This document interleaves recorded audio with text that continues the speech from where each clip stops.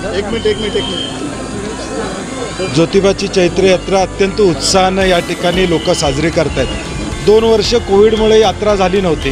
आणि म्हणून ज्योतिबाला साकडं घालणार आहे की येणाऱ्या भविष्यकाळात चांगला पाऊस या ठिकाणी पडू दे शेतकऱ्याला बळ या ठिकाणी मिळू दे. त्याचबरोबर कोविडमुक्त हा महाराष्ट्र व्हावा अशी ज्योतिबा चरणी प्रार्थना आहे. आज कोविडच्या कोविड कमी झाल्यानंतर पहिलीच यात्रा गेल्या दोन वर्षानंतर आज ज्योतिबारायाची या ठिकाणी पार पडते आहे.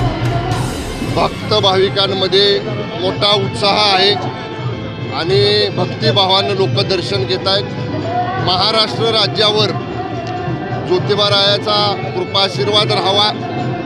ठाकरे सरकार आदरणीय मुख्यमंत्री उद्धवजी ठाकरे साहेबांच्या नेतृत्वाखाली महाराष्ट्र राज्य देशातलं पहिल्या नंबरचं राज्य करण्याची ताकद शक्ती आमच्या महाविकास आघाडीच्या ठाकरे सरकारला ज्योतिबा रायानं द्यावी अशी ज्योतिबा रायाच्या चरणी मी प्रार्थना केलेली आहे.